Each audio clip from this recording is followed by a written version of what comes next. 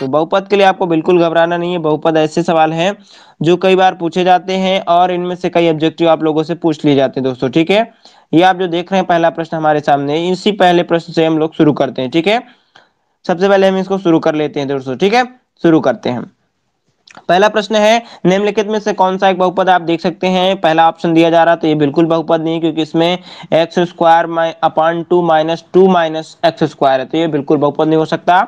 Second है second में root लगा हुआ दोस्तों, ये तीसरा नंबर आप देख सकते हैं, तीसरे में एक्स स्क्वायर प्लस है। फिर थ्री एक्स स्क्वायर फिर तीन अपान टू है, यानी थ्री अपान टू है। फिर आप ये फोर्थ नंबर जो देख रहे हैं तो इसमें से राइट आंसर दोस्तों, आपका सी नंबर हो जाएगा, ठीक है? चलिए, अगला देखते हैं यहाँ पर। नेक्स्ट ऑप्शन जो हमारा है दूसरा नंबर निम्नलिखित में से कौन सा आपका देख सकते हैं, निम्नलिखित में से अंडर रूट दो निम्नलिखित घात का एक बहुपद है। जो निम्नलिखित घात का अंडर रूट दो बहुपद है तो एक भाग इसका क्या होगा घात? तो इसका सिंपल सा है, आपको घात बतानी है दोस्तों। तो घात बताने के लिए क्या करेंगे? सिंपली हम यहाँ पर सबसे पहले क्या देख लेंगे कि हमारे पास घात क्या है तो घात में आप देख सकते हैं अंडर रूट दो में निम्नलिखित घात का एक बहुपद क्या हो जाएगा? ज़ीरो हो जाएगा। फिर बात करते हैं बहुपद four x four plus zero x cube plus zero x five plus five x plus seven की घात है। इसे बहुत ही सिंपल है तो सिंपल सा है इसके सॉल्यूशन क्या हो जाएगा? तो सिंपल से इसको क्या करेंगे हम लोग? टिक कर लेंगे। आप यहाँ पे देख सकते हैं फोर एक्स फोर है। तो ये क्या है? फोर एक्स फोर एक क्या है? नंबर से लेकिन ज़ीरो के साथ अगर हम एक्स का गुणा करेंगे तो क्या हो पाएगा? मल्टीप्लाई करेंगे आप लोग तो क्या मल्टीप्लाई होगा? तो ज़ीरो का मल्टीप्लाई ज़ीरो ही हो जाएगा। ऐसे ही ज़ीरो एक्स इंटू जो फाइव दिख रहा है दोस्तों, इसका मल्टीप्लाई क्या हो जाएगा? ज़ीरो हो जाएगा। जब मल्टीप्लाई दोनों का ज़ीरो निकलेगा तो इसका जो राइट आंसर आएगा दोस्तों, वो भी क्या हो जाएगा? कंप्लीट रूप से यहाँ पे देख सकते हैं क्या हो जाएगा? ये फोर जो तो राइट आंसर हो जाएगा, ठीक है? चलिए, अगला प्रश्न देख लेते हैं यहाँ पर। शून्य बहुपद की घात है। जो दोस्तों शून्य है तो शून्य बहुपद की घात किसकी हो जाएगी? तो शून्य बहुपद की घात के बारे में भी परिभाषित नहीं किया जा सकता। शून्य की घात कितनी हो सकती है? ठीक है? अगला प्रश्न देखते हैं।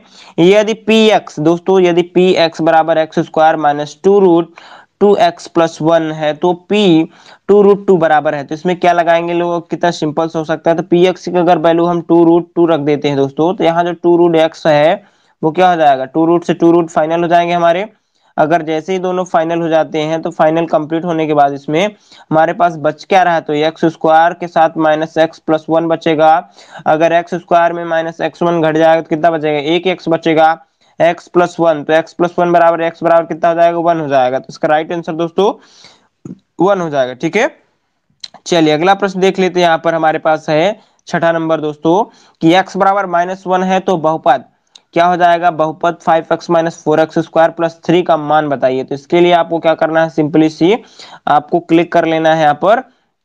मान बताने के लिए। तो क्या करेंगे? फाइव एक्स का आपका क्या मान है? तो फाइव इंटू क्या कर लेंगे? यहाँ पर एक करेंगे माइनस वन देन आप यहाँ पर four x minus one plus three कर लेंगे। जैसे प्लस थ्री करेंगे तो आपका माइनस पाँच का कितना हो जाएगा? ये माइनस पाँच हो जाएगा। माइनस का माइनस रहेगा और फोर में स्क्वायर लगा था दोस्तों। ये देख सकते हैं फोर एक्स स्क्वायर है।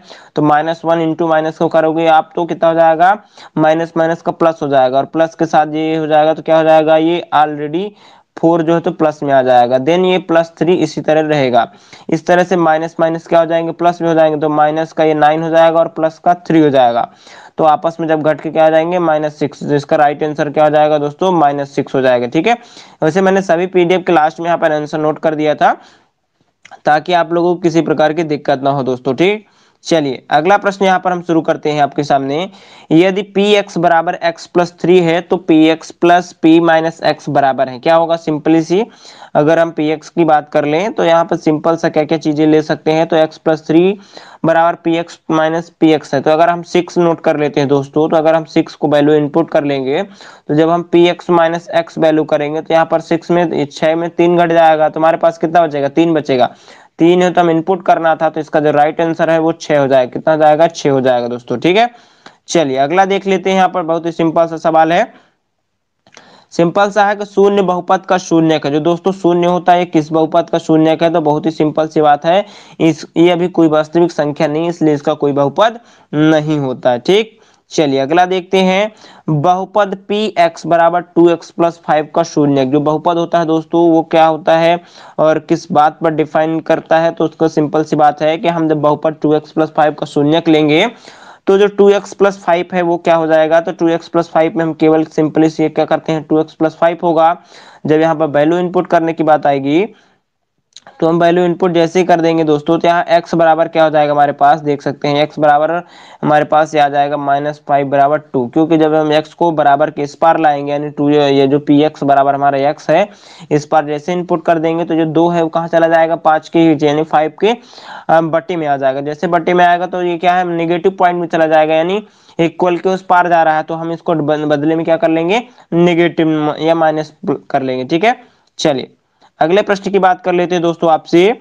अगला प्रश्न हमारा है, बहुपद 2x क्या है दोस्तों? बहुपद हमारा, बहुपद 2x square plus seven x minus four के शून्यक में से एक है, जो यहाँ पर शून्यक दिया गया है आपके सामने, ये देख सकते हैं। इसमें two x square plus seven x minus four में से शून्यक कौन सा होगा? तो बहुत ही सिंपल सा है। बहुपद के शून्य की जब बात की जाएगी तो two x plus seven x की बात की जा रही है तो टू एक्स को किस तरह से आप सॉल्व करेंगे? तो अगर इसको सॉल्व कर लेते हैं आप दोस्तों तो बहुत ही सिंपल सॉल्व होगा इसका जो राइट आंसर है वो एक बटे दो आ जाएगा, यानी वन अपॉइंट टू आएगा, ठीक है? चलिए, अगला प्रश्न आपके सामने यहाँ पर शो किया जा रहा है दोस्तों, बहुत ही सिंपल सा है कि यदि x की घाते 51 है प्लस 51 को x प्लस वन से भाग दिया जाएगा तो शेष फल कितना आएगा? बहुत ही इजी सवाल है, इसको आपको करके कमेंट करिएगा, ठीक है? इसको जैसे आप कंप्लीट कर लेते हैं तो कमेंट बॉक्स में ज़रूर बताएँ आप लोग, ठीक है? फिफ्टी इसका राइट आंसर हो जाएगा। अगले प्रश्न की बात कर लेते हैं। यदि x प्लस वन बहुपद two x square plus k x का एक गुणनखंड है तो k का मान होगा ये भी बहुत सा इजी है इसको ओपन करने के लिए क्या क्या कर सकते हैं वो देख सकते हैं आप लोग दोस्तों। यदि हम बहुपद को भाग देंगे गुणनखंड के रूप में तो जो के का मान आएगा बहुत ही सिंपल सा होगा। कैसे? वो देख सकते हैं आप लोग यहाँ पर। x प्लस वन हमने यहाँ पर नोट कर लिया फिर हमें बहुपद क्या मिल गया दोस्तों? तो two x square plus k x मिल गया ठीक है? जब के एक्स की वैल्यू में एक्स प्लस वन है तो हम सबसे पहले इसका शून्यक निकाल लेंगे। जैसे शून्यक मिल जाएगा तो हमें इस पर वैल्यू इनपुट कर देंगे। और जैसे वैल्यू इनपुट कर देंगे तो हमारे पास के की वैल्यू मिल जाएगी। तो के की वैल्यू कितनी हो जाएगी दोस्तों? टू हो जाएगी, ठीक है? चलिए। अगले प्रश्न की बात कर लेते हैं। जैसे अगला प्रश्न हमारे यहाँ पर दिया जा रहा है, तीस, तेरवा नंबर दोस्तों, आपके सामने, कि x प्लस वन निम्नलिखित बहुपद का एक गुणनखंड, जो x प्लस वन दिया जा रहा है दोस्तों आप लोगों को, ये किसका, जो तो गुणनखंड होगा? तो x प्लस वन में आप देख सकते हैं यहाँ पर सिंपली ये x cube x plus square plus x plus one ये हमारा जो है इसका बहुपद का एक गुणनखंड हो सकता है, ठीक है? ये फोर्टी नंबर प्रश्न आपसे पूछा जा रहा है दोस्तों, बहुत ही सिंपल सा किसमें twenty five x square minus one plus one plus five x square के गुणनखंडों में से एक है, ठीक है? तो गुणनखंडों में से जब एक की बात की जा रही है यहाँ पर सिंपली सी तो हम यहाँ पर जो राइट आंसर की बात करेंगे दोस्तों तो पच्चीस एक्स स्क्वायर माइनस वन है twenty five x square minus one plus one plus five x square की बात की जा रही है, ठीक है? जब इसके दोनों को गुणनखंडों को हम आपस में कंप्लीट करते हैं तो इसका जो राइट आंसर आता है दोस्तों, वो टेन एक्स स्क्वायर आता है। कितना आता है? टेन एक्स आता है, ठीक है? अगला प्रश्न है फिफ्टीन नंबर दोस्तों two forty nine minus two का मान ज्ञात कीजिए। स्क्वायर में है दोनों तो इसका फार्मूला क्या लग जाएगा? यहाँ पर सिंपल सा, ये x a square minus b square के वैल्यू में लिखे गए हैं दोनों। तो जब इसको सॉल्व करेंगे तो बहुत सिंपल सी बात है ए प्लस बी और ए माइनस बी हो जाएगा, जैसे ए प्लस बी और ए माइनस बी होता है दोस्तों तो इसका जो राइट आंसर आएगा वो टू फोर नाइन भाई माइनस माइनस को करेंगे तो कितना मिलेगा हमें? केवल एक मिलेगा, एक इसमें वैल्यू कहीं इनपुट नहीं रखनी है, देख सकते हैं आप लोग, यहाँ ऑप्शन चार ही दिए गए आपको तो चार में से जो राइट आंसर हो जाएगा आपको, उसको जाँच करने के लिए आपको क्या करना पड़ेगा? सबसे पहले हमें यहाँ पर जो फार्मूला अभी मिला था उसकी वैल्यू को इनपुट करेंगे कैसे? तो ये देख सकते हैं टू फोर नाइन प्लस कर सकते हो आप लोग और टू फोर एट को करेंगे। जैसे करेंगे तो इसका right answer four nine seven आ जाएगा, ठीक है? फोर नाइन सेवन इसका राइट आंसर होगा दोस्तों, ठीक है? चलिए, अगला प्रश्न देख लेते हैं, सोलवा नंबर आपसे पूछा जा रहा है। Four x square plus eight x plus three का गुणनखंड होगा। तो सबसे पहले या तो आपको four x square plus eight x plus three का एक कॉमन ले लेंगे। कॉमन में आपको क्या क्या लेना है वो आपको पता है। जैसे अगर आप कॉमन को कंप्लीट कर पाएँगे तो आप बड़ी आसानी से गुणनखंड को लगा सकते हैं, ठीक है? अगर आप हमारी क्लास को ज्वाइन करना चाहते हैं तो आपको रेफरल के नीचे कोड मिल जाएगा। वहाँ से आप आसानी से ज्वाइन कर सकते हैं। और हमारे चैनल को सब्सक्राइब करके बेल आइकन को प्रेस कर लीजिएगा, ताकि आने वाली वीडियो की जो नोटिफिकेशन है वो सबसे पहले आपको मिलती रहे। तो बाकी के जो ऑब्जेक्टिव प्रश्न है, वो हम आपको नेक्स्ट पार्ट में मिलेंगे। यहीं से हमारा आज का वीडियो समाप्त होता है दोस्तों। अगले पार्ट में फिर आगे की चर्चा की जाएगी और महत्वपूर्ण प्रश्नों के बारे में फिर से मैं आपको डिटेल्स में बताऊँगा, क्योंकि ये हमारा पहला वीडियो था जिसमें मैंने आपको ऑब्जेक्टिव प्रश्न बताए हैं। इसके बाद के जो भी वीडियो आएँगे, वहाँ पर हम आपको फुल लेक्चर प्रोवाइड कराएँगे। और सारे जो सिलेबस के महत्वपूर्ण क्वेश्चन है, उनके बारे में चर्चा की जाएगी, ठीक है? जय हिंद, जय भारत दोस्तों।